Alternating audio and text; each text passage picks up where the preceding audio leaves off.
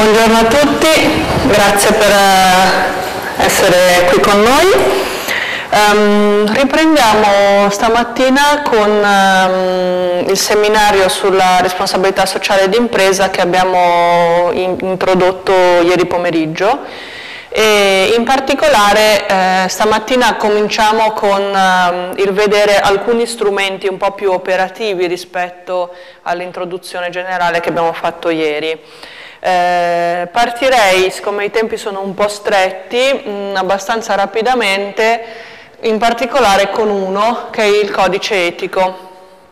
Eh, che cos'è il codice etico? Ieri abbiamo cominciato a vederne un paio, eh, però non siamo ancora entrati eh, nella definizione. Allora, è eh, considerato il principale strumento di implementazione dell'etica all'interno di un'azienda. È una sorta di carta costituzionale hm, dell'azienda che eh, sostanzialmente definisce diritti e doveri, per così dire, morali, etici, eh, dell'azienda e di chi agisce all'interno di essa, cioè per essa all'interno di essa. Um, il codice etico è uno strumento che in Italia eh, si, diciamo, si, vede diffuso da non tantissimo tempo, parliamo di un decennio circa, prima erano casi molto più sporadici. Um, negli Stati Uniti invece, comunque nel contesto anglosassone, è uno strumento molto più diffuso. Eh, questo è dovuto in parte al tipo di cultura d'impresa anglosassone e in parte anche al fatto che ehm, negli Stati Uniti e comunque nel contesto anglosassone sono molto più numerose le imprese di dimensioni grandi o molto grandi. Eh, e questo è un tema che vedremo ricorrere un po' mm, in varie fasi nel, nel lavoro di oggi, cioè la differenza fra eh, gestire la responsabilità sociale, promuovere, introdurre la responsabilità sociale all'interno di imprese molto grandi e all'interno di imprese invece di dimensione media o piccola. Eh, in Italia il codice etico si è diffuso soprattutto ehm, da quando è stato eh, fortemente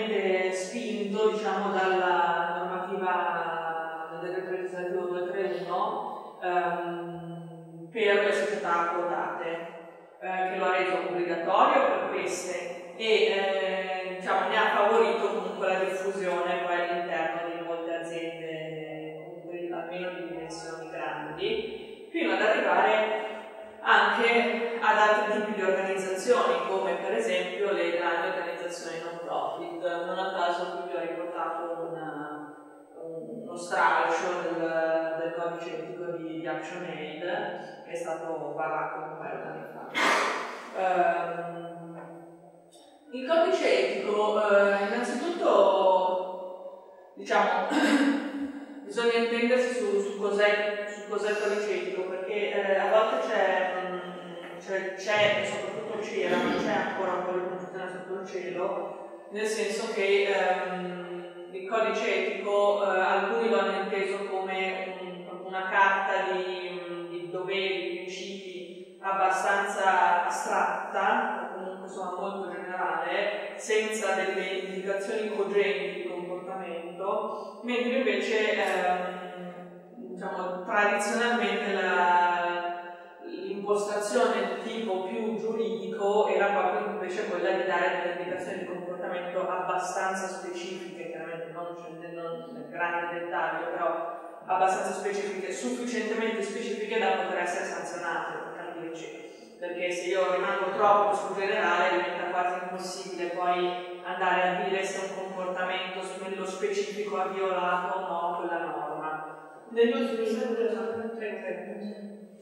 ultimi, anni si è assistito un po' a un livellamento diciamo, di, di queste due scuole molto lontane l'una dall'altra eh, e abbiamo cominciato a vedere dei codici etici che sono più simili a quelli che vi, vi, vi mostrerò oggi, cioè che partono con delle affermazioni anche molto ampie ma arrivano a dare poi delle indicazioni un po' più stringenti eh, in modo tale da poter essere poi utilizzati come strumenti cogenti all'interno, all'interno di un'azienda. Eh, prendiamo magari giusto per dare un'occhiata ai contenuti e renderci conto più concretamente di cosa si tratta, il documento vero e proprio, che penso si veda meglio soprattutto per chi ci segue a distanza. Così. Allora, come possiamo vedere, eh, il, questo codice etico, come tanti codici etici, sono abbastanza simili, ha una prima parte dedicata appunto ai principi fondamentali, quelli che prima dicevo, principi molto generali, eh, che in questo caso, per esempio, ActionAid ha identificato nel rispetto delle leggi e dei regolamenti, dell'onestà e integrità, trasparenza, completezza dell'informazione, responsabilità verso la collettività, etica e tutti quelli che vediamo che si vedano anche in video abbastanza bene da poter leggere. Um, poi andiamo a vedere eventualmente come sono stati formulati alcuni di questi. La seconda parte riguarda invece le regole di comportamento, come dicevamo prima, quindi sostanzialmente eh, delle regole più specifiche che in questo caso, come in molti casi, eh, sono articolate per stakeholder, cioè per interlocutore. Quindi sono i rapporti, le regole che regolano, scusate il gioco di parole, i rapporti con diversi interlocutori che per quell'organizzazione sono molto importanti. Quindi in questo caso parliamo di un'organizzazione non profit, chiaramente i donatori sono tra i primi della lista, i fornitori, i collaboratori, le istituzioni le pubbliche, dei pubblici funzionari, l'autorità giudiziaria, in questo caso l'hanno identificata come a parte rispetto alle istituzioni, eh, i sindaci, le società di revisione, i dipendenti e comunità locali.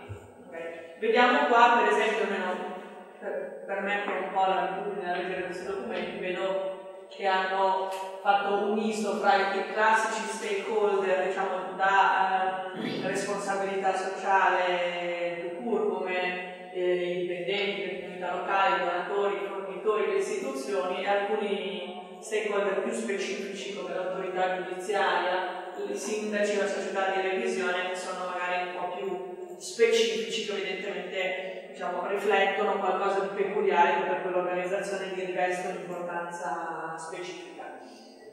Uh, e poi c'è tutta una parte che eh, a volte c'è nel codice etico, a volte meno, a volte più approfondita, a volte meno, insomma dipende poi anche dalle scelte che si fanno, di tipo anche di governance e di management, eh, che è dedicata a degli aspetti più gestionali, quindi la regolamentazione della contabilità e dei controlli, il trattamento dei dati e tutta una serie di altre informazioni più, più specifiche. Questo è un classico ehm,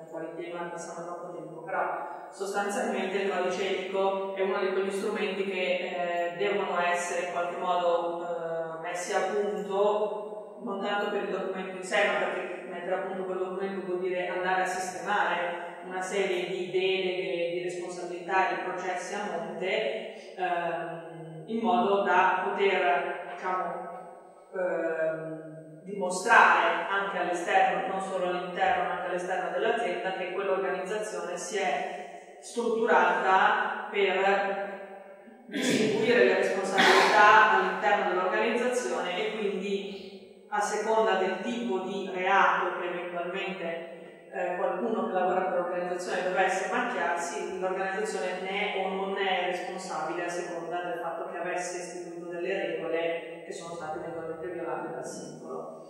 Nasce un po', un po', in questo modo l'impostazione di, di, questo, di questo tipo di codici etici, però ha anche una parte che è squisitamente di responsabilità sociale è questa, questa più. Eh, possiamo vedere per esempio qualche, qualche definizione di, di, questo, potrebbe essere interessante vederne uno o due. Ecco, questo codice etico abbastanza, come dicevo, abbastanza corposo, sono 16 pagine, quindi non è poco. Per esempio, la responsabilità verso la collettività, che sicuramente per un'organizzazione non profit è una cosa molto seria. Action consapevole del proprio ruolo sociale sul territorio di riferimento, sullo sviluppo economico, sociale e sul benessere generale della collettività, intende operare nel rispetto delle comunità locali e nazionali sostenendo iniziative di valore culturale e sociale. Oppure, ancora un interessante secondo me, potrebbe essere questo qua sulla dignità delle persone. Promozione del rispetto della dignità delle persone. ActionAid promuove e rispetta i diritti fondamentali delle persone tutelando l'integrità morale e garantendo uguali opportunità. Nelle relazioni sia interne che esterne non sono ammessi comportamenti che abbiano contenuto discriminatorio della dignità personale, della sfera privata e dei diritti della personalità individuale, basato sulle opinioni politiche e sindacali, la religione, la razza, la nazionalità, l'orientamento sessuale, lo stato di salute e in genere qualsiasi caratteristica intima della persona umana. Queste affermazioni sicuramente generali, però sono abbastanza significative. Non so quante mh, aziende italiane delle dimensioni più o meno di ActionAid abbiano pensato di codificare questo tipo di, di regole. Non è una cosa proprio da dare per scontata, anche perché poi ne discendono delle conseguenze. Cioè, per esempio in ActionAid questa cosa di garantendo uguali opportunità si traduce eh, in sistema di eh, gestione delle risorse umane che eh, fa molta attenzione alla, alla, al bilanciamento dei generi all'interno dell'organizzazione per livello, non solo come numero complessivo, ha un sistema incentivante, premiante eh, dei direttori che dimostrano in vari modi di stare attenti a questo aspetto, ha per esempio un sistema eh, punitivo nei confronti dei, di quei responsabili che hanno per esempio al loro interno un, un eccessivo ricorso allo straordinario, un, per, perché questo non è visto solo come disorganizzazione del lavoro, si sa per esempio che in molti casi un eccessivo ricorso allo straordinario mette più in crisi una donna che magari ha un bambino piccolo a casa rispetto a un uomo che in qualche modo, anche se ce l'ha, alla moglie, no?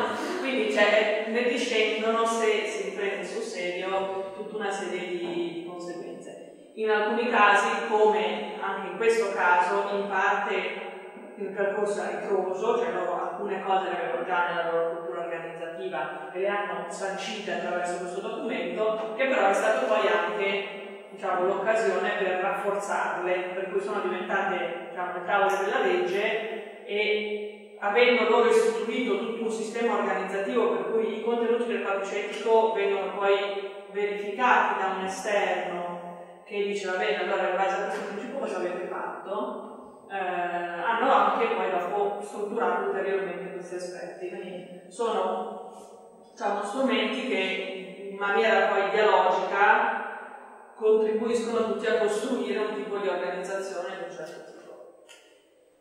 Um, un altro che avevamo cominciato a vedere ieri è per esempio quello di Intesa San Paolo, la cui struttura generale non è molto diversa.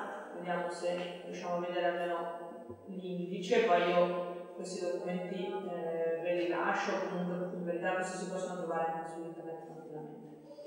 Eh, loro hanno fatto una parte che si chiama i nostri valori, che sono un po' corrispondenti ai principi che abbiamo visto prima di ActionAid, e poi i principi di condotta nelle relazioni con gli stakeholder che toccano, infatti, come abbiamo visto prima, i principi di condotta generali con tutti gli stakeholder e poi clienti, azionisti, collaboratori, fornitori, ambiente e comunità sono quelli che loro hanno identificato. Per ciascuno di questi c'è, come diciamo, ah, vedete che sono abbastanza corposi perché alcuni spiegano più di una pagina, quindi si dilungano abbastanza per spiegare eh, come pensano di, di, gestire questi aspetti, e poi tutto il, il sistema di controllo che hanno messo in piedi, tra cui i contatti, che non sono una cosa scontata, nel senso che un codice etico eh, dovrebbe sempre dare la possibilità al, a qualunque dipendente o anche a un esterno che ne rilevasse una violazione di poter contattare qualcuno in forma anonima o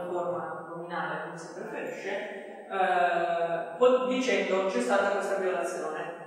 Perché poi il codice etico è appunto uno strumento normativo all'interno dell'azienda parte l'internal audit e va a verificare se questa violazione effettivamente sussiste e se è sanzionabile. Quindi, essendo uno strumento appunto di dialogo, deve essere possibile per chi eh, si, si interfaccia con l'azienda, che sia un altro dipendente, che sia magari un cliente, rivolgersi a quell'azienda con un contatto preciso e dire c'è stata questa violazione.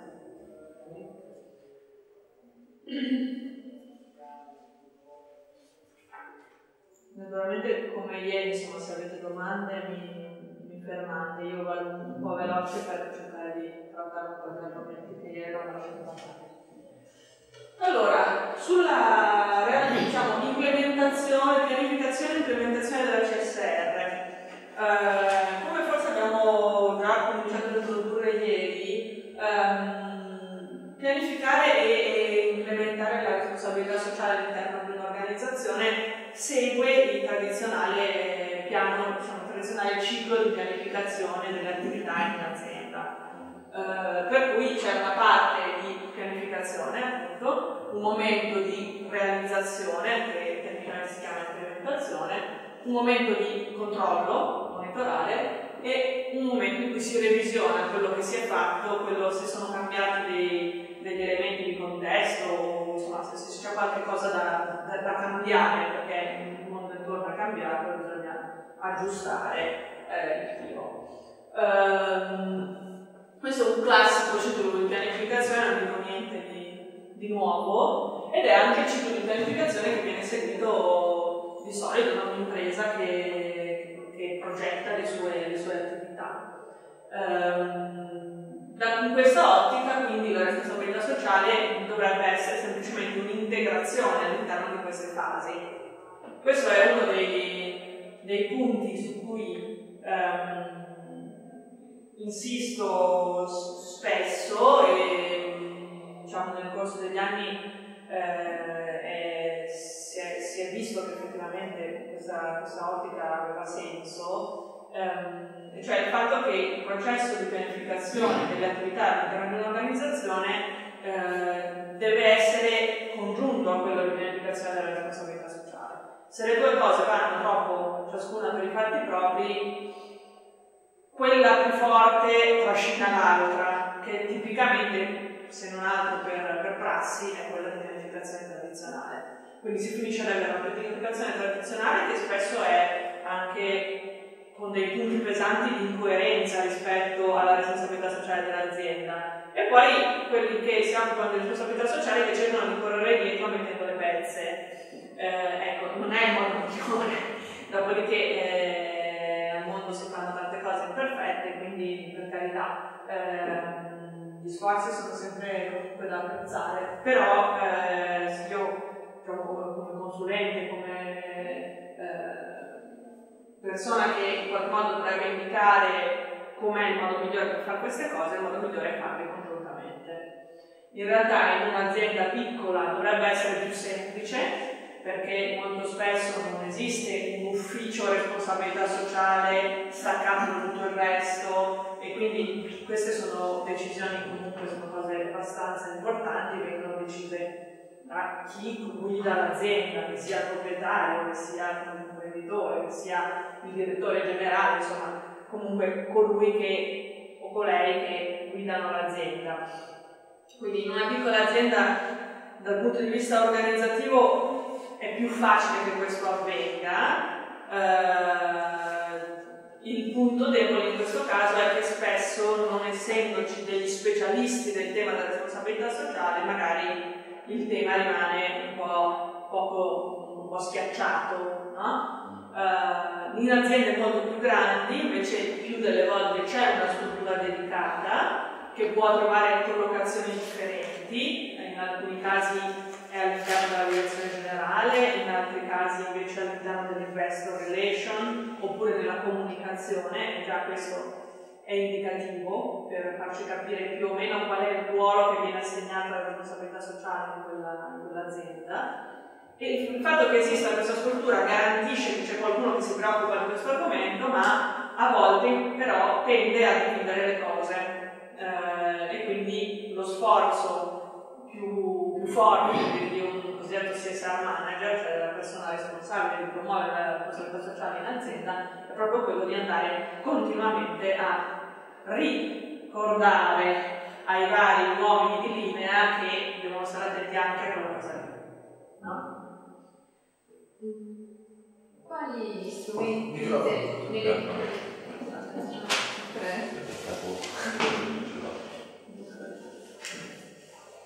E volevo sapere, per le piccole imprese, quali sono gli strumenti che si possono utilizzare per il, monitoraggio in itinere? Certo, certo. Allora, um, eh, solitamente eh, si utilizzano um, degli strumenti ehm, che sono simili a quelli usati dalle grandi aziende ma molto semplificati eh, per, per, il monitoraggio. Adesso ci arriviamo. Eh, vi, parto solo un secondo dall'inizio così eh, eh, riusciamo a fare tutto il discorso. Allora, i, qui siamo nella, nella, un attimo nella prima fase ancora, pianificare e realizzare. Scusate, pianificare vuol dire per pianificare prevede essenzialmente tre, tre fasi. Un'analisi, la, la, individuazione di obiettivi e la definizione di strategie. Eh, questo può sembrare eh, molto ridondante per un'azienda piccola, eh, in realtà non lo è, le fasi logiche sono quelle, dobbiamo solo andare a vedere come poi si traduce in pratica in un'azienda piccola. Io adesso vi farò vedere molto rapidamente gli strumenti che sono stati sviluppati prevalentemente per aziende più grandi e per ciascuna vi dico di solito come si traducono poi per imprese più piccole. Il primo passaggio è un cosiddetto assessment della responsabilità sociale, cioè cosa vuol dire? Un'analisi dello stato dell'arte. Okay? Eh, questo è lo stesso schema che abbiamo visto ieri utilizzato eh, da un'altra parte,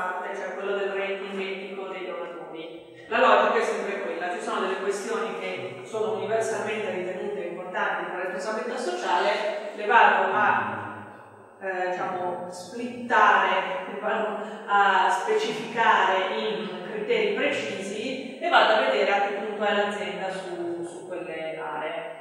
Naturalmente ci saranno eh, aree, come dicevamo ieri, più o meno importanti a seconda del settore in cui lavora l'azienda e a seconda anche dei paesi in cui lavora l'azienda, perché eh, chiaramente se parliamo di un'azienda che lavora magari eh, fuori, fuori, Italia o in un contesto eh, magari dei paesi in via di sviluppo, eccetera, l'attenzione sul tema dei diritti umani sarà molto alta. Eh, se lavora solo in Italia non è che non ci sia, c'è comunque perché poi sentiamo purtroppo di tutto, però in maniera molto più, più ridotta e soprattutto con degli strumenti diversi per andare a verificare la, lo stato dell'arte.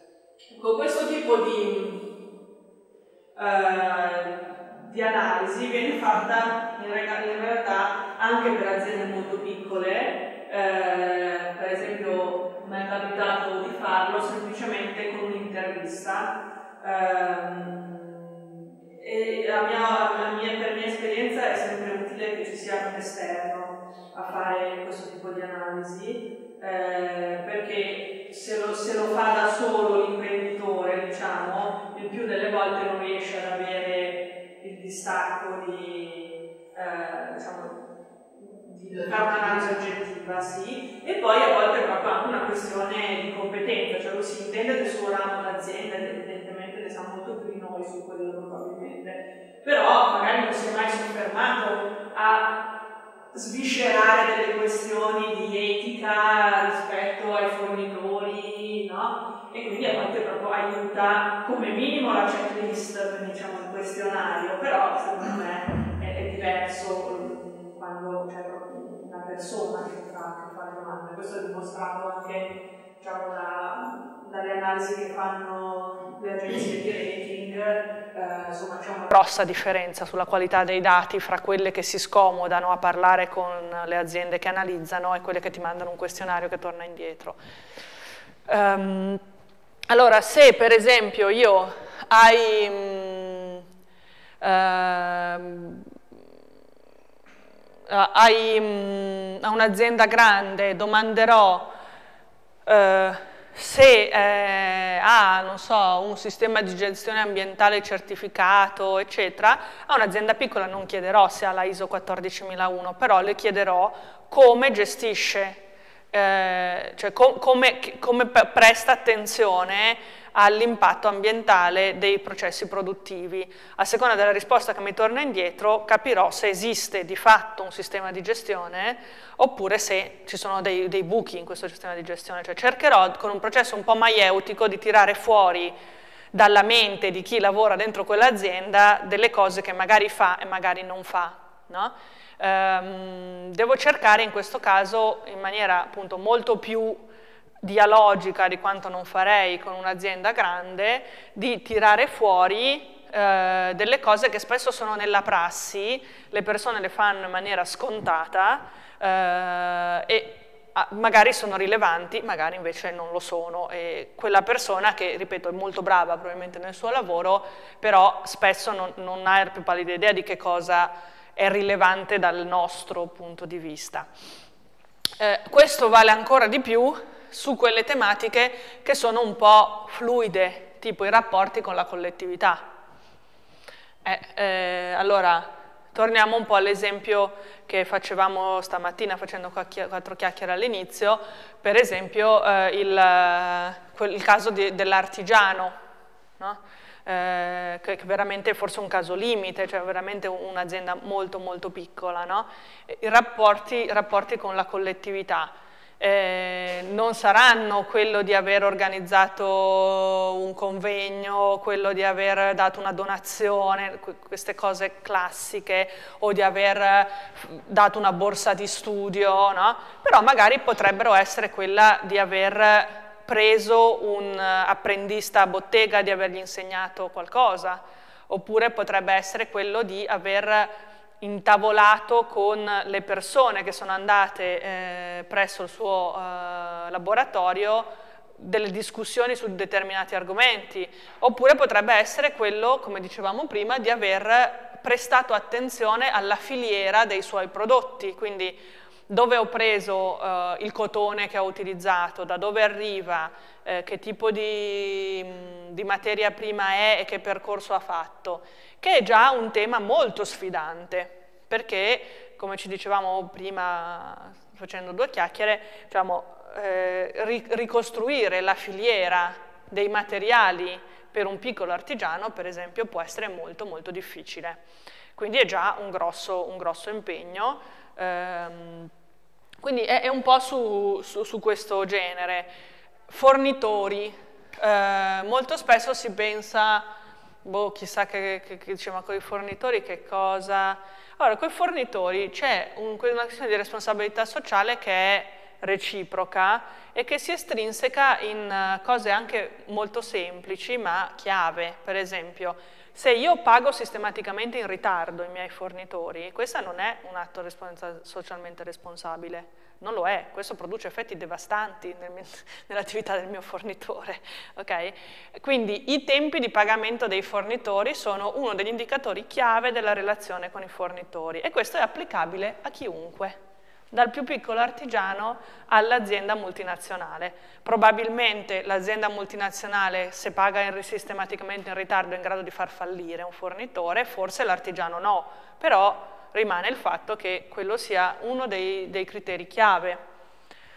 Eh, da parte del fornitore invece c'è il fatto di, di garantire forniture regolari con la qualità richiesta, quindi sono cose molto sostanziali Poi possono esserci cose in più eh, che possono riguardare appunto il fatto di selezionare solo fornitori che sono in grado di dimostrarci di non utilizzare lavoro nero, eh, solo fornitori che sono in grado di dimostrarci di non evadere le tasse.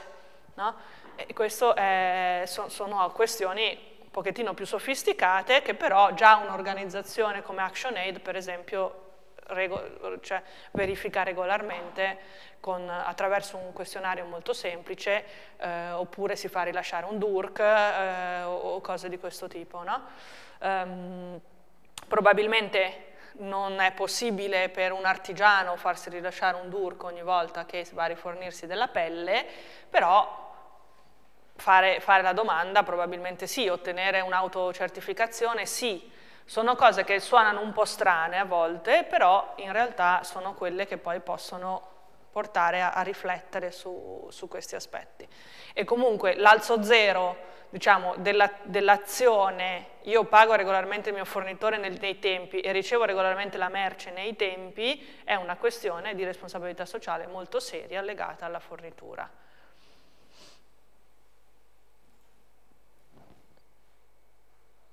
Ecco, qui era un esempio delle domande che per esempio vengono fatte rispetto alle risorse umane, chiaramente parliamo di un questionario pensato per aziende molto grandi, per cui la qualità dei sistemi di retribuzione, la qualità della protezione sociale che si dà al personale, ehm, la gestione delle ristrutturazioni aziendali, quindi insomma sono temi poi un po' più, un po più grossi, però se noi facciamo lo sforzo e questo potrebbe essere anche un, un bel esercizio da fare secondo me in un approfondimento o fra voi come volete, eh, di prendere uno di questi questionari che tipicamente raccolgono 100-200 domande molto dettagliate e andare dentro le domande e di domandarsi perché viene fatta questa domanda, cioè a cosa si vuole arrivare, allora si tirano fuori anche quelle domande che sono molto sostanziali, ehm, e, e quello che qui magari viene articolato in 10 domande diventano due, ma sono domande chiave che si possono fare anche a un piccolo imprenditore. Un altro argomento importante della fase di pianificazione è la cosiddetta mappa degli stakeholder. Um, di nuovo qui um, la questione è chi sono i miei interlocutori chiave, essenzialmente, e che ehm, relazioni intercorrono fra questi, fra questi interlocutori.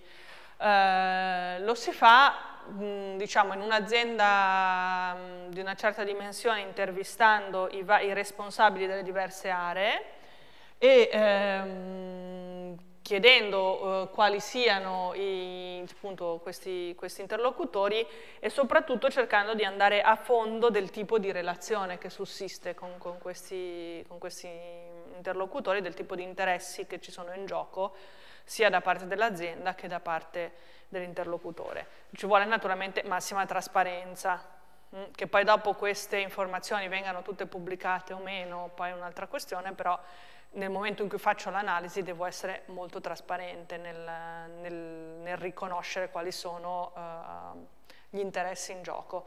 Ecco, questo esercizio secondo me è molto difficile per le imprese piccole, perché ehm, a volte si tende a considerare solo eh, alcuni degli stakeholder, eh, tipicamente se penso appunto alla piccolissima impresa, all'esercizio commerciale, si vede quasi solo il cliente, mm, si fa molta fatica a focalizzare gli altri, no?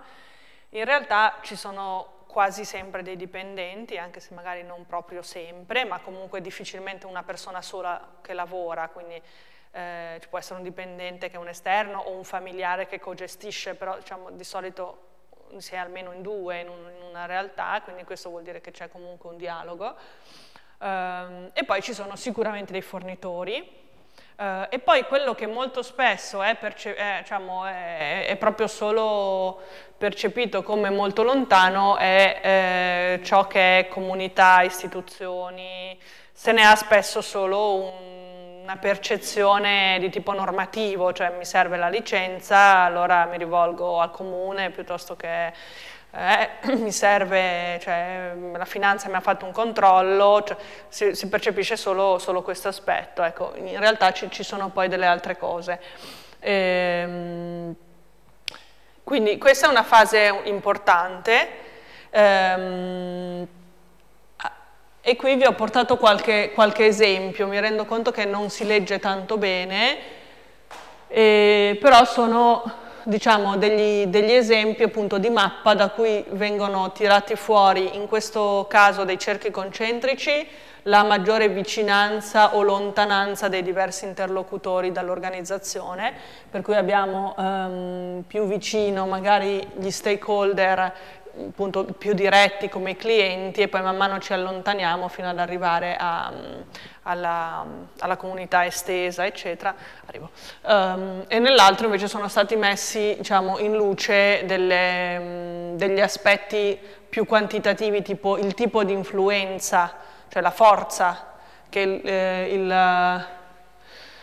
lo stakeholder può um, esercitare sull'organizzazione e ehm, quella che può essere l'importanza per l'azienda di quello stakeholder. Chiaramente più ci muoviamo verso qui e più sono importanti, perché se sono importanti per l'azienda e sono capaci di fare grossa pressione, evidentemente siamo al punto di massima attenzione. C'era una domanda, credo. Eh, mi chiedevo, per un'impresa è estremamente importante individuare il proprio istituto di credito, quindi la banca con cui relazionarsi. Esiste un registro o esiste un, un, un qualcosa certo. eh, dove si possono attingere le informazioni, quindi dove un'impresa può andare a attingere informazioni per, per valutare la, quindi la credibilità dell'istituto dal punto di vista etico, quindi se applica un codice etico, se ha una serie di procedure insomma, che certo. siano di responsabilità sociale, per poter avere una, una buona relazione certo. e quindi avere quindi un ritorno diciamo, di quelle che possono essere le sue esigenze, comunque una, una relazione, un dialogo certo, aperto. Certo, interessante, una, una bella domanda. Eh, esiste in parte, eh, nel senso che esiste per i grandi istituti bancari. Eh, sono, diciamo, abbiamo citato in, questi, in queste due giornate ogni tanto le agenzie di rating etico. Um, tipicamente sono delle, in verità sono delle società private, non sono pubbliche, um, che fanno il, il mestiere del, che fanno le agenzie di rating classiche, quindi diciamo, analizzare il profilo di un'azienda, però lo fanno con un occhio all'etica, quindi l'analisi la, la, che fanno questo tipo di realtà non è quella che potrebbe fare Standard Poor's, eh, ma è un suo complemento, cioè con l'attenzione all'aspetto dell'etica e lo fanno eh, di solito in maniera standard, cioè diciamo a nastro per capirci, eh, sulle più grandi società quotate eh, di un certo contesto, cioè quello americano, di quello europeo, eccetera. Um, una di queste, diciamo la più famosa in Europa è Vigeo, scritto Vigeo, um, che eh, fa questo tipo di analisi in maniera costante. Um, e poi c'è eh, anche, ce n'è un'altra che, che ehm, si chiama SAM, S-A-M, ehm, che eh, lavora prevalentemente invece per un cosiddetto eh, indice etico, cioè un indice borsistico che si chiama Dow Jones Sustainability Index, quindi è un insieme che fa riferimento al Dow Jones, eh, che eh, ammette solo società che, ra che raggiungono un certo punteggio, diciamo in termini di etica. Ehm, è un indice a tutti gli effetti, con uh, le sue quotazioni e tutto quanto. Eh, Intesa San Paolo, per esempio, ne fa parte, tanto per, per citare un'azienda bancaria italiana che, che, ne fa parte. Eh, queste analisi sono molto complesse e eh, hanno un alto livello di tecnicità, si basano essenzialmente sul tipo di griglia che vi ho fatto vedere prima, però vanno ovviamente molto più in profondità, è un po' questa la logica, eh, andando a toccare, questa qua è proprio la griglia di Vigeo, cioè le aree di analisi standard di Vigeo sono proprio queste. Mm? Ehm, per cui Vigeo contatta tutte le aziende di cui, diciamo, che sono presenti nel suo paniere, si, si, si, suol dire, quindi tutte le aziende che hanno selezionato come aziende da monitorare costantemente. Um, Vigeo è presente in tanti paesi europei, quindi in Italia ci sono gli analisti italiani, in Francia gli analisti francesi, in Germania gli analisti tedeschi, eccetera. Um, e stila poi una, un rapporto um, che viene fatto vedere all'azienda prima di essere diciamo, speso altrove um, e, ehm, e, poi eh, quindi si dà all'azienda la possibilità di dire no, questa cosa qui che avete scritto non ci siamo capiti bene, eh, in realtà io l'ho fatta ma voi non l'avete vista, oppure eh, insomma si arriva a un profilo che è stato comunque anche rivisto dall'azienda, quindi mh, le informazioni che sono contenute lì sono comunque informazioni che siamo sicuri che sono realistiche. Mh?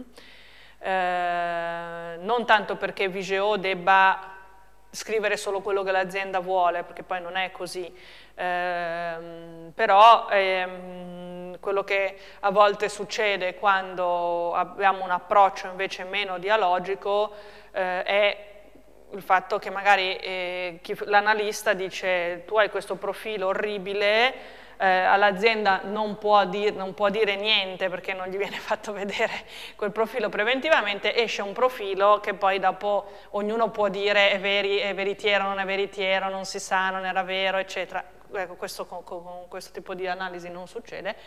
E poi ci sono appunto um, gli output di, di, questo tipo di, di analisi, una classifica eh, oppure i rapporti completi che però credo che siano venduti da, da Vigio, adesso non, non, non sono un'esperta dell'argomento, però credo che il rapporto completo per dire su Intesa San Paolo credo che sia venduto a pagamento, però adesso non, sinceramente non, non vorrei dire una stupidata.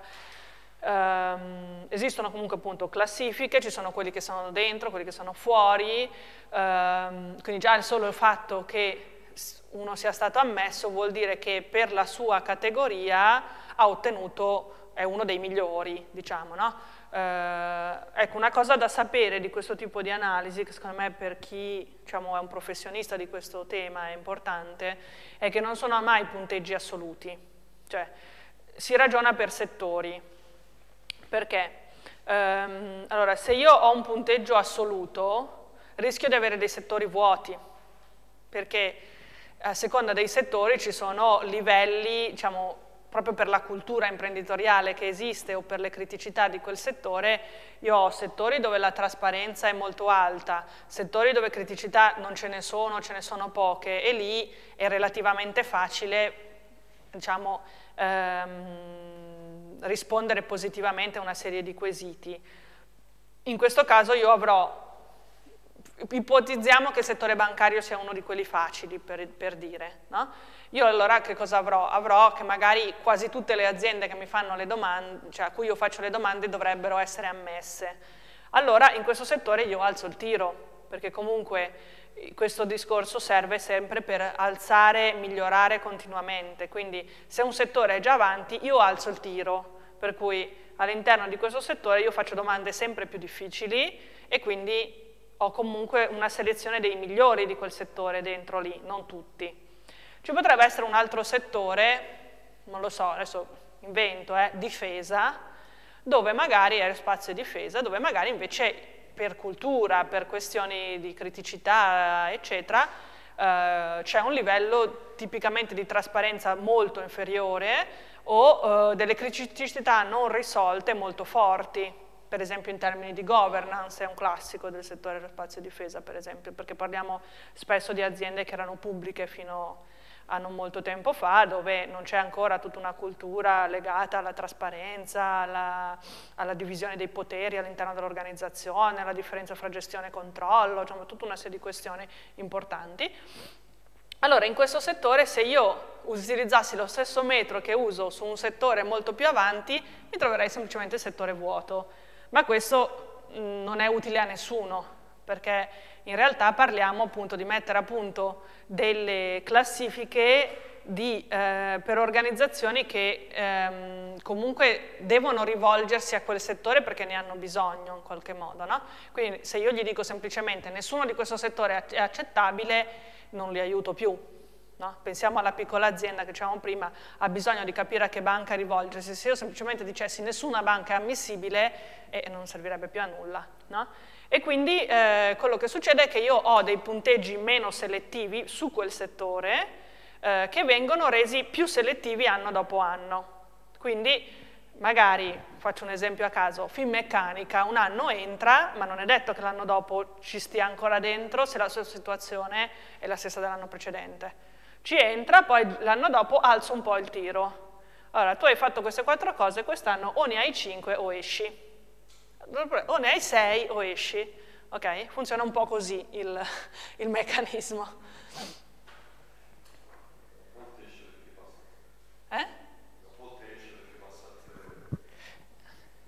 Immagino che un'analisi del genere, per esempio, non possa avere niente a che fare, o non credo che ci sia un discorso del genere da fare con, immagino, case farmaceutiche, anche piccole, perché in quel caso bisognerebbe proprio stravolgere un po' tutto, o sbaglio? Eh, no, no, queste analisi riguardano qualunque settore. Ah, Sì, sì, eh, ci sono assolutamente. Però no, esempi pratici, per esempio di case farmaceutiche che abbiano fatto questo tipo di discorso. Allora, adesso, se vuoi dire la verità, a memoria eh, non mi ricordo. Eh, dovrei andare a rivederlo. Mm, i, nomi, no, i nomi devo, devo, andare a rivederli. Eh, I nomi devo andare a rivederli perché onestamente non mi ricordo, però è, è uno dei settori che ci sono. Cioè, non è un sistema ehm, selettivo nel senso di escludere radicalmente dei settori. Non, ho, non a caso ho fatto l'esempio dell'aerospazio e difesa, eh, che eh, soprattutto per quanto riguarda la difesa per esempio è uno di quei settori che spesso vengono cancellati, no? eh, quando facciamo un discorso di tipo rigidamente selettivo. Adesso non, non giudico cioè sul, sul fatto che sia una scelta giusta o sbagliata, però molto spesso tabacco, gioco d'azzardo, armamenti, sono i classici che vengono tagliati fuori. Ecco, non è la logica con cui si muovono questo tipo di, di analisi. Mm? Ehm, quindi, eh, peraltro, se anche si muovessero in, questo, in, questo, in, questa logica, in realtà le farmaceutiche non sarebbero fuori, nel senso che adesso noi possiamo avere il nostro pensiero sull'attività delle, delle grandi farmaceutiche, però le grandi farmaceutiche comunque si muovono in un settore che di per sé non è considerato controverso eh, eh, o comunque non è considerato nero nel senso che sviluppano farmaci che curano comunque milioni e milioni di persone, cioè il loro lavoro come missione non è un lavoro che nella generalità la comunità consideri deprecabile, no? Eh, ci sono poi degli aspetti di come questo lavoro viene condotto che invece molti considerano deprecabili, no? però questo non li ascrive a un settore nero, no? Per, invece, diciamo, per esempio, il tabacco è tipicamente considerato un settore nero perché quello che si contesta è proprio l'attività, cioè la lavorazione del tabacco, la messa in vendita di sigarette è considerata di per sé un'attività molto grave e quindi ti escludo in partenza per quello che fai. La farmaceutica invece è tu, diciamo, la tua missione è far star meglio le persone sviluppando dei medicinali e delle cure che di per sé non mi sembra una cosa negativa o comunque, a parte quello che può sembrare a me, non è considerata negativa dalla comunità. Come lo fai? In alcuni casi non mi piace. E allora vado a, a fondo su, su, su, come tu lo fai. Ok? Sì, forse c'è dubbio rapido sul, eh, su come si garantisce l'imparzialità dell'agenzia di rating, mm -hmm. che è un problema che mi viene in mente per quanto riguarda adesso il commercio equo, ad esempio, mm -hmm. che lì ci sono state questioni sulla, sull'eticità della stessa agenzia che si occupava di certificare Sì. quelli che erano e che magari subiva pressioni, lobby da, da varie parti. Ecco, in questo caso come si fa a sapere che VGO e compagnia non Certo. hanno... Certo. Allora, ehm, diciamo che ehm, molti eh, ritengono che l'unico modo per eh, garantire questo sarebbe avere delle agenzie di rating pubbliche. no? Ehm, è un approccio che, che posso capire. Eh, ehm, quindi si dice se i soldi che finanziano la vostra attività provengono dalla- dalle istituzioni, voi siete liberi di esprimervi. Eh, se invece i soldi che finanziano la vostra attività provengono comunque in qualche modo dal settore privato, eh, di fatto voi promuoverete gli interessi di quel settore. no? Approccio che, che posso comprendere ehm, e che probabilmente in una certa misura è un rischio, anzi credo che sia un rischio che, che si corre, non sono così sicura che rendendole pubbliche questo rischio si eviti, perché abbiamo visto in tanti casi come questi limiti poi vengono purtroppo aggirati in tanti modi. Ehm, oggi non è così comunque, nel senso che oggi, mh, che io sappia, adesso dico, non- io non sono una specialista dell'argomento, però che io sappia non esiste un'agenzia di rating pubblico, nessuno Stato si è, di rating etico pubblico, nessuno Stato si è preso diciamo, l'onere di avere la propria agenzia o la, l'Eu- la Commissione, diciamo, la Comunità Europea o l'ONU, cioè non mi risulta che esiste esista una vera agenzia di rating pubblica, magari anche internazionale. Eh?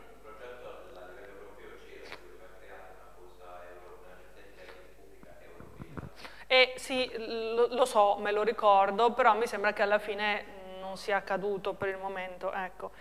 Ehm, in questo momento quello che viene fatto è molto simile abbiamo, al meccanismo che abbiamo già visto ieri per eh, l'attività di grandi aziende, per l'attività di grandi organizzazioni non profit, eccetera, cioè c'è un controllo sociale per cui di solito i report di organizzazioni come VGO vengono passati al pettine fisso, cioè al pettine ehm, eh, fitto, eh, da parte di cosiddetti social watch, quindi da parte di organizzazioni non governative, da parte di think tank, da parte anche dei media, eh, che vanno a fare le pulci a quello che, che viene detto. No?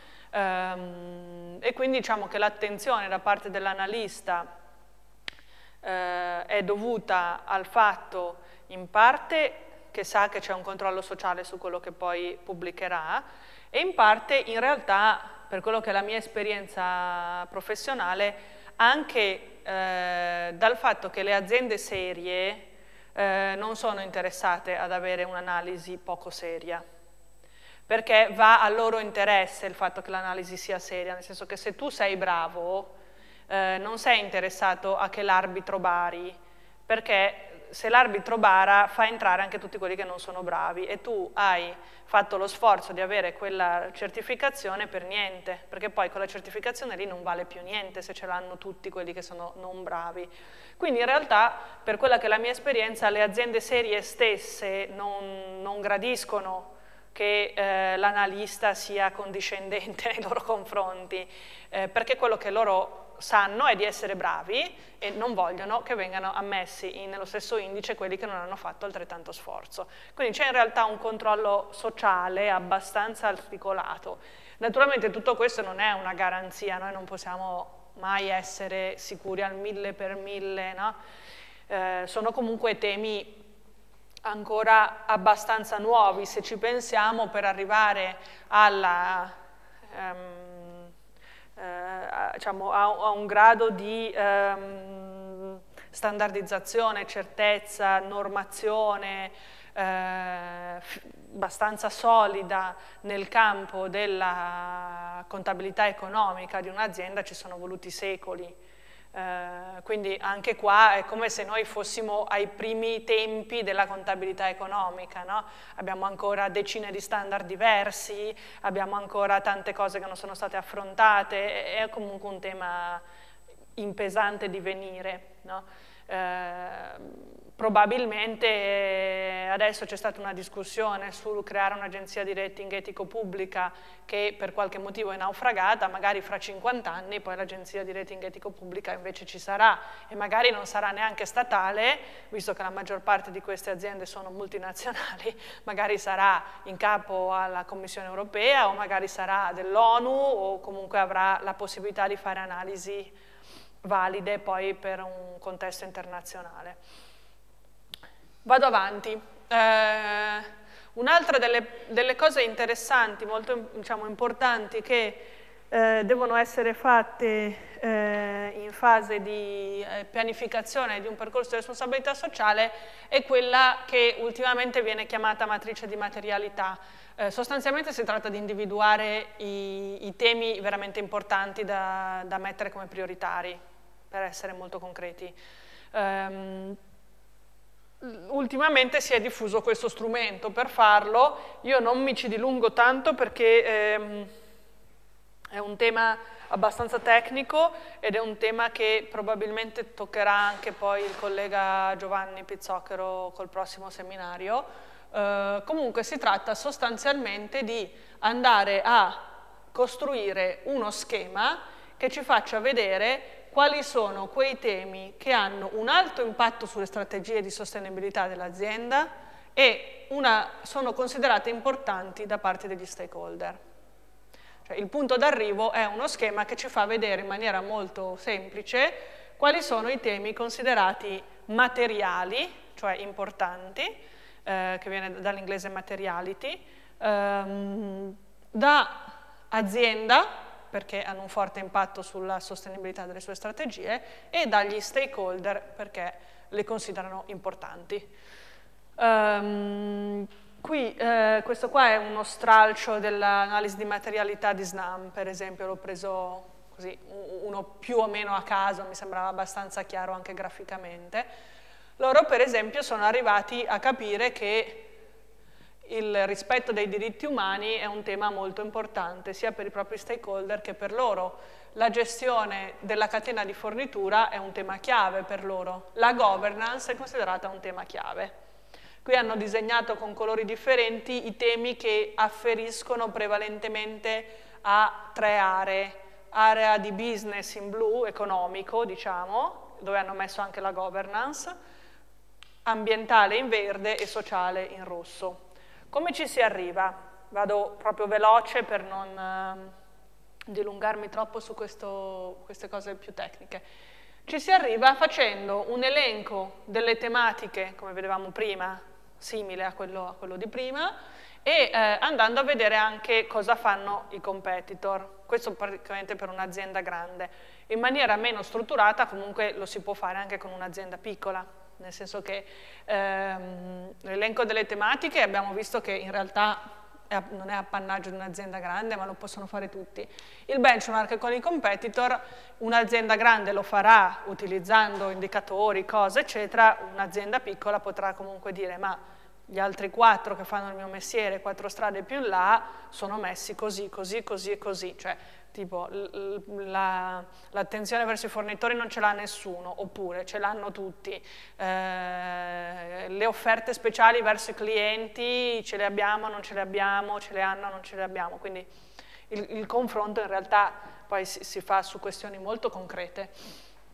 Eh, abbiamo identificato in questo modo le tematiche rilevanti e poi ehm, andiamo attraverso vari strumenti a eh, capire quali sono ehm, quelle prioritarie. Uh, su un'azienda grande lo si fa uh, in, in, tanti modi, in realtà qui io vi ho riportato una metodologia che è quella che usiamo di solito noi per fare queste cose, che eh, abbiamo visto avere un buon riscontro, quindi si, fa, uh, una, cioè si vanno a, a, leggere, cioè a studiare le cosiddette analisi di settore, le analisi di opinione pubblica e di pressione dei media, si fanno delle interviste agli interni eh, in cui gli si chiede che percezione hanno rispetto a quello che gli stakeholder pensano, eh, si va ad analizzare quello che esiste, codice etico, politiche, eccetera, e poi ehm, si fanno delle interviste alle posizioni interne, eh, ehm, alle funzioni interne da un'altra un ottica. Um, questo passaggio, quando si può, questo sulle funzioni interne per la percezione degli stakeholder, lo si fa invece intervistando direttamente gli stakeholder. Non è sempre possibile, ma quando si può lo si fa. In questo modo abbiamo diciamo, un'idea eh, delle questioni che riguardano quel settore, eh, le macro questioni che riguardano quel settore.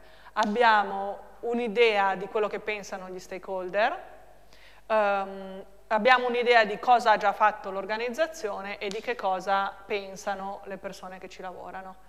L'insieme di tutta questa roba, con un sistema di pesi, di roba abbastanza articolato, ci dice quali sono i temi più rilevanti che abbiamo visto, abbiamo visto in, questa, in questa matrice. Tutto questo per un'azienda più piccola può essere tradotto in qualcosa di, di, più semplice, di nuovo attraverso le interviste, facendo delle domande chiave e andando però magari anche a fare un po' di analisi di settore, che lo possiamo fare di solito il più delle volte anche online, eh, raramente non esiste proprio nessuna informazione sul settore di cui si tratta, magari uno studio fatto da una Camera di Commercio, uno studio fatto da un'università, cioè qualcosa di solito si, si può trovare per oggettivare un po' il discorso, perché se no il rischio è quello eh, per usare una terminologia molto tecnica, di guardarsi l'ombelico, cioè se io parlo solo con l'imprenditore e ehm, che vede le, le, cose dal suo punto di vista, io come esterno non è che le posso eh, discutere, non, non, serve quasi a niente l'esercizio, serve se io arrivo dal fuori con una consapevolezza che le questioni di quel settore sono di un certo tipo e gli faccio da contraltare. Okay? Um, non mi soffermo tanto sugli aspetti di uh, implementazione, cioè qua avevamo visto che le fasi, la seconda fase, uh, scusatemi, c'erano obiettivi e strategie, allora sulla base di quello che è emerso durante l'analisi io chiaramente andrò a sviluppare dei, i miei obiettivi e le, e le mie strategie. Una cosa interessante che avevamo sviluppato eh, nel corso di un seminario con una piccola azienda, adesso guardo se ce l'ho sotto mano, ve la faccio anche vedere, era per esempio un documento molto semplice che era un po' un insieme di tutte queste cose, cioè sanciva dei principi e metteva però anche degli, mh, degli strumenti Um, vediamo, eh. un attimo solo. Metteva anche degli obiettivi in, uh, fra le, le azioni da realizzare. Vediamo se ce l'abbiamo qua. Eccolo qua.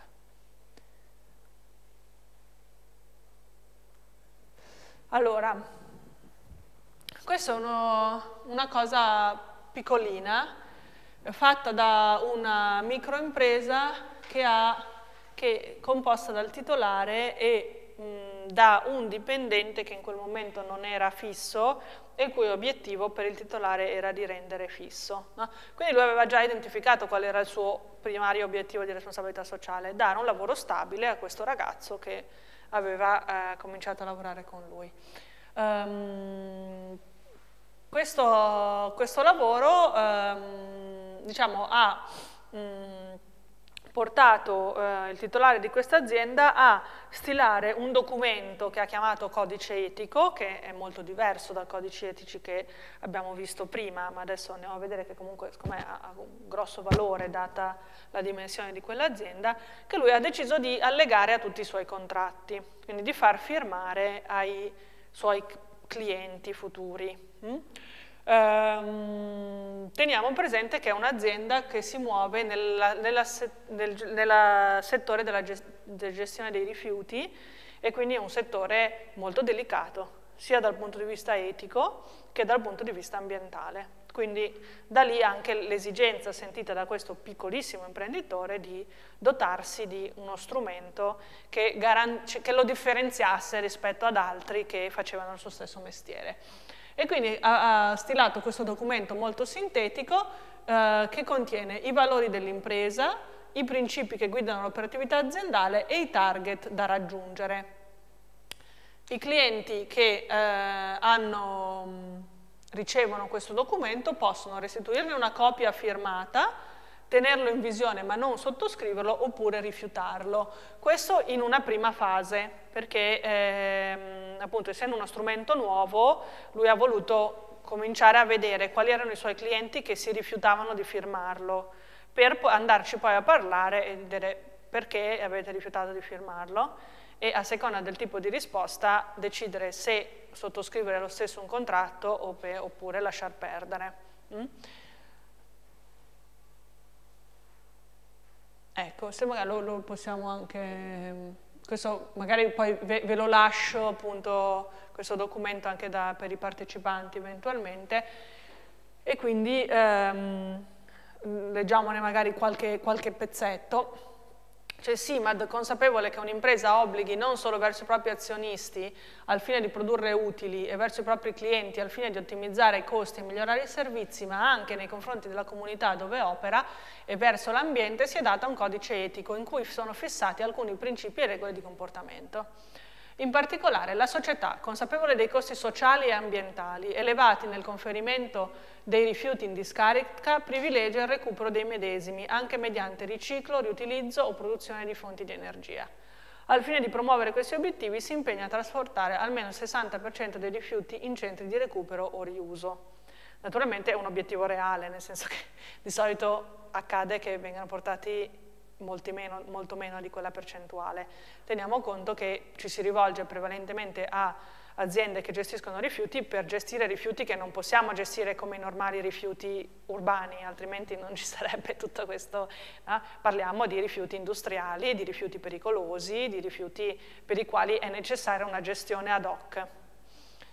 Um, la società, al fine di garantire tranquillità ai propri dipendenti e la possibilità di progettare il proprio futuro, privilegia rapporti di lavoro stabili con contratti a tempo indeterminato.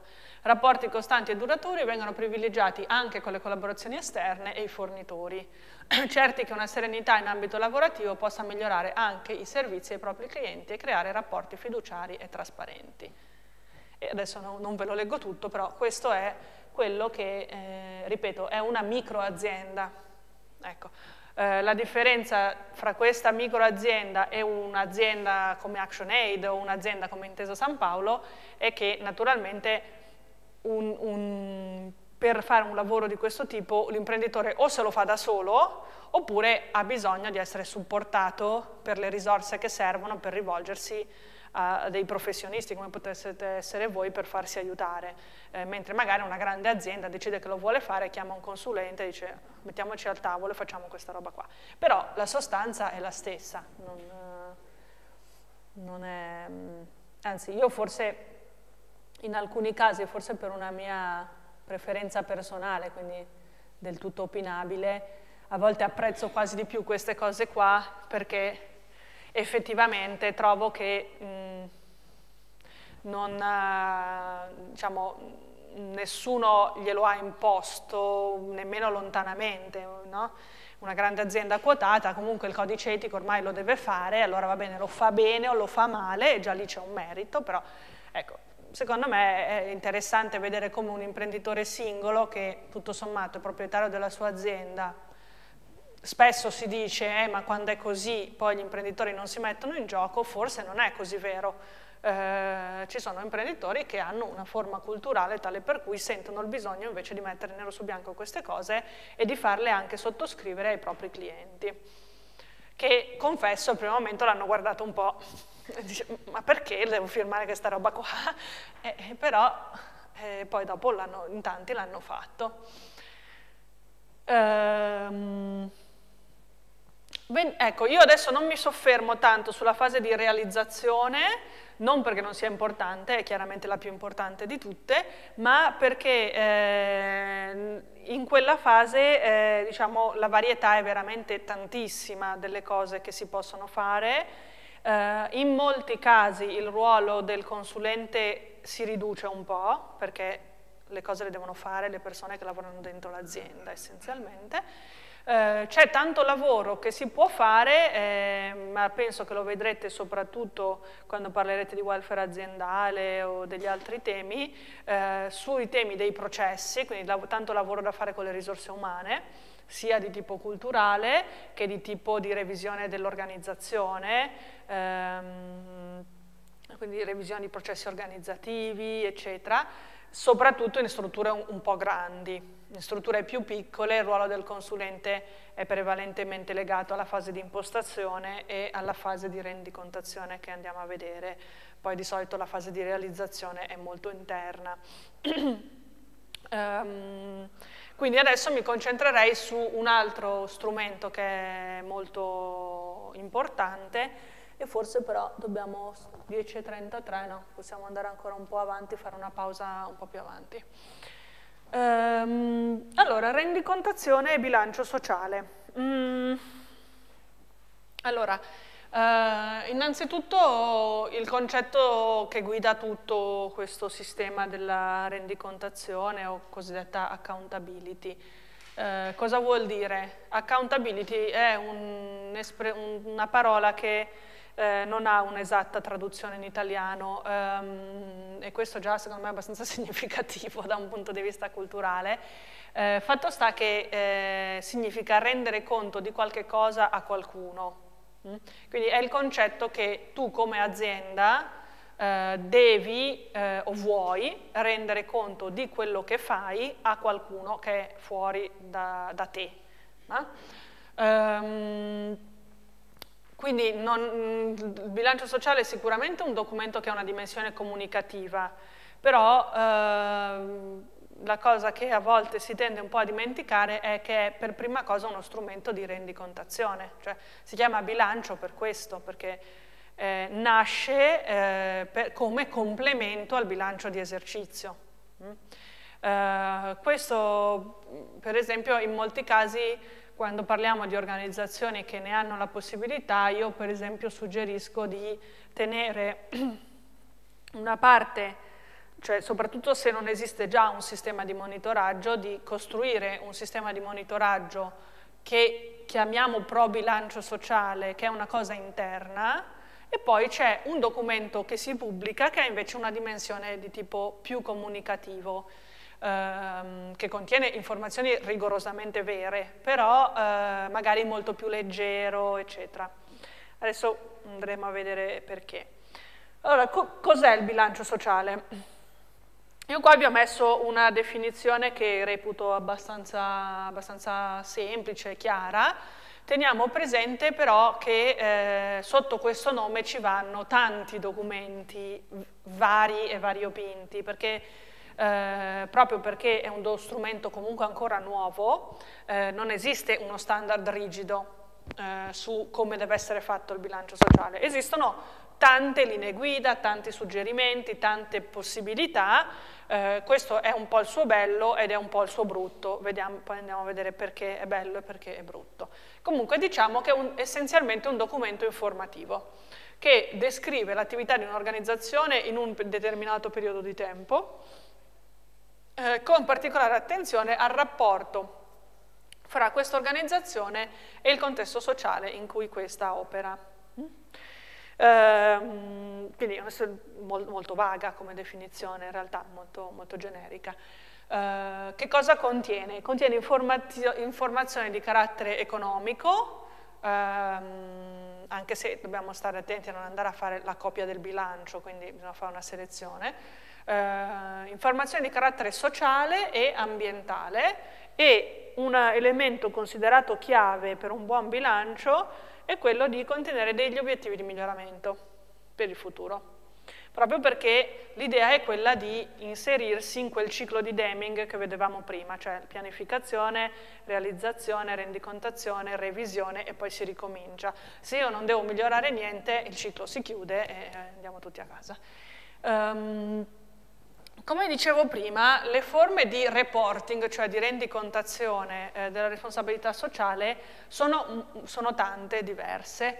Eh, io qua vi ho riportato questo, questo grafico che è preso dalla ultima eh, ricerca fatta da KPMG ogni anno, eh, che vi dà un'idea della varietà delle forme di reporting esistenti, tutte riconducibili a questo ambito. cioè tante aziende chiamano questo tipo di rendicontazione rapporto di sostenibilità, ed è la fetta che vedete più grande, colorata in viola, altri parlano di eh, rapporto di responsabilità sociale d'impresa o di rapporto di responsabilità d'impresa, che è un'altra cosa ancora, oppure poi tutta un'altra serie di, di piccoli di altre, di, di altre, varianti. Io peraltro vi lascerò anche questo studio che può essere interessante da, da consultare, um, anche se è molto concentrato sulle imprese grandi, perché KPMG è una grande società di consulenza e analizza, le, mi sembra, le 200 più grandi aziende del mondo.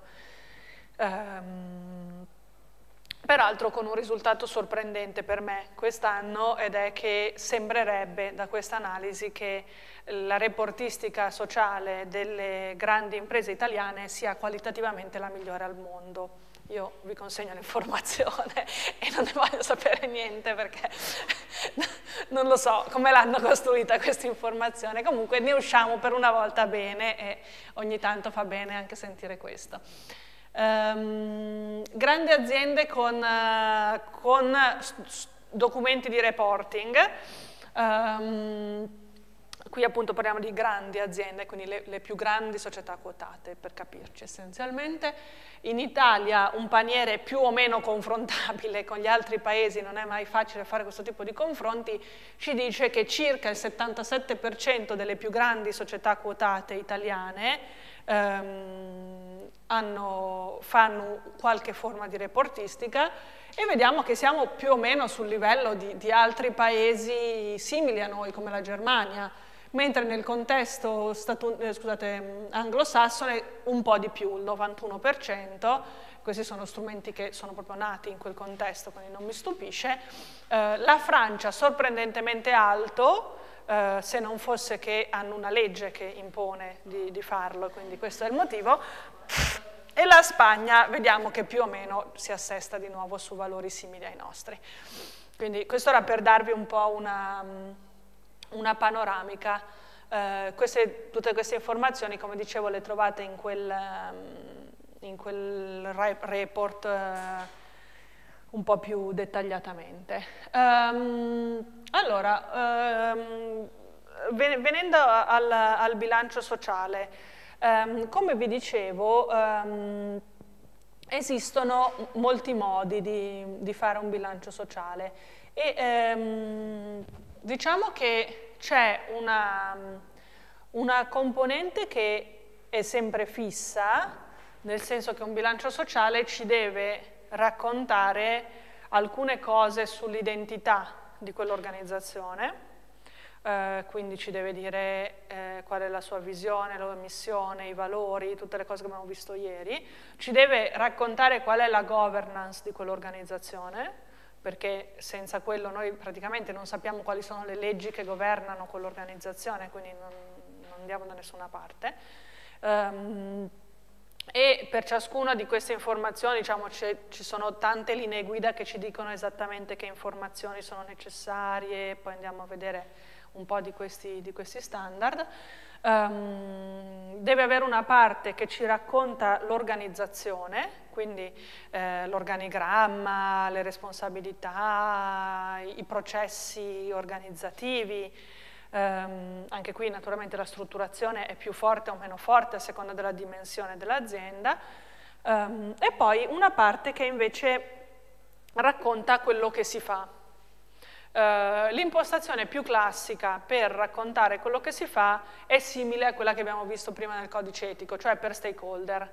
No? Allora ho lo stakeholder risorse umane, ti spiego che cosa faccio, cioè chi sono le mie risorse umane, intanto sono X, X donne, X uomini, X donne a questo livello, X uomini a questo livello, eh, gli, gli, stipendi medi, il differenziale salariale fra uomini e donne se c'è, qual è, ehm, il turnover, quindi tutta una serie di informazioni che mi servono a mappare questa popolazione e, ehm, e, poi gli aspetti cosiddetti più soft, quindi i processi, cioè esiste un sistema di valutazione del personale, qual è, com'è, com strutturato, il personale conosce la sua valutazione periodicamente, ha modo di essere informato di qual è l'opinione del, del management rispetto al suo lavoro e di migliorarsi eventualmente dove non funziona, Um, formazione, la faccio, non la faccio, quanta ne faccio, come la faccio,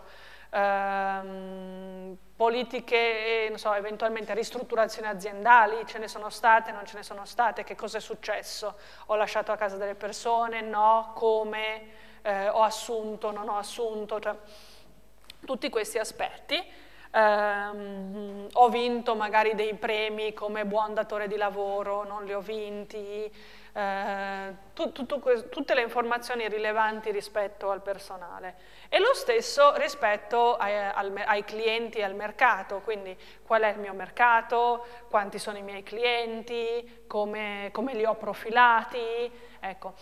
um, i fornitori, un po' come dicevamo prima, cioè io ho una politica che gestisce le mie relazioni con i fornitori, la metto in pratica, la monitoro, vi so dire quante volte ho pagato in ritardo i miei fornitori, oppure se questa cosa non la faccio, um, ho delle controversie con i miei fornitori, ci sono delle cause, qualcuno magari non ha fatto il suo mestiere come doveva e abbiamo una causa in atto, abbiamo, questo anche con i dipendenti naturalmente.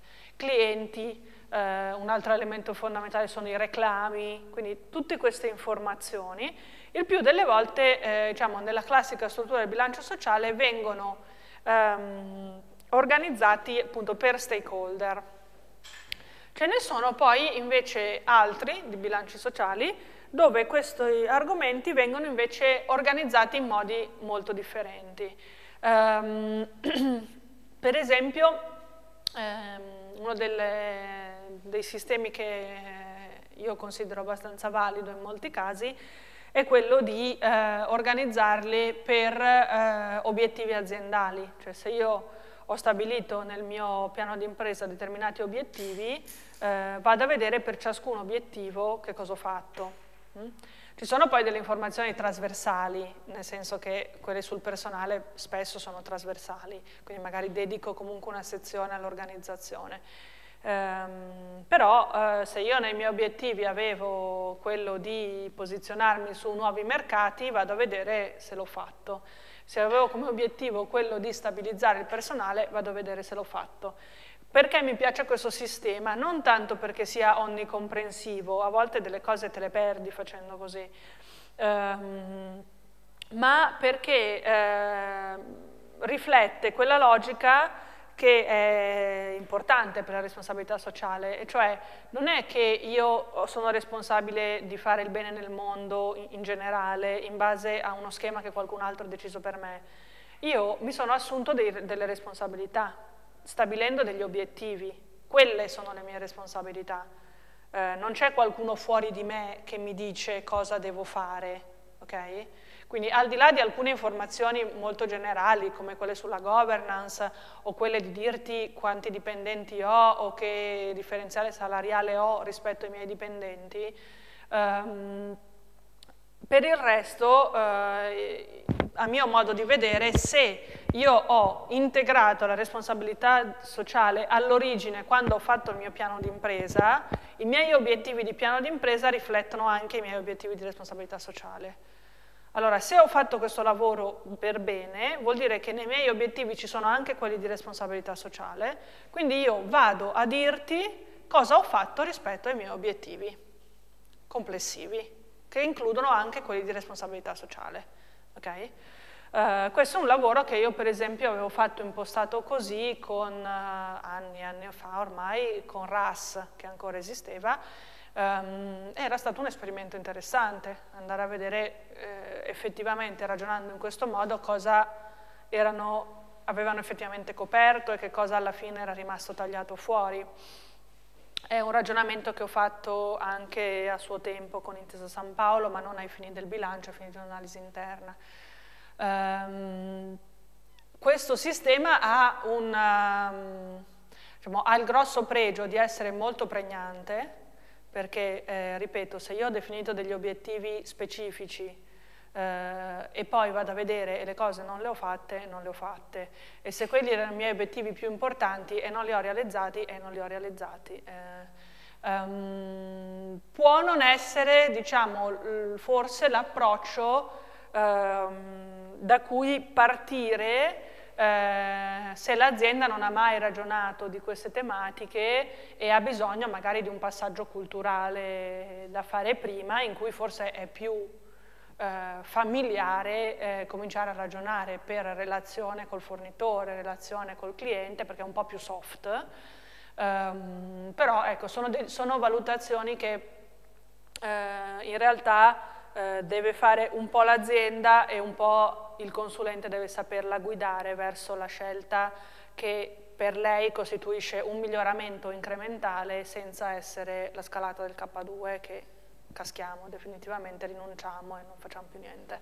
Quindi sono scelte molto individuali che si fanno caso per caso. Eh, magari dopo eh, possiamo vedere alcuni esempi di come sono stati organizzati dei bilanci sociali proprio per vedere nella pratica poi come si traducono questo, questo tipo di indicazioni. Non può fondersi lo schema a seconda delle categorie, eh, puntare a degli obiettivi specifici che poi vai a certo. verificare. Assolutamente, sì sì, certo, certo. Um, io forse mi fermerei adesso 10 minuti, eh, così tiriamo tutti il fiato e poi abbiamo ancora un paio d'ore che possiamo dedicare a questo lavoro. Grazie.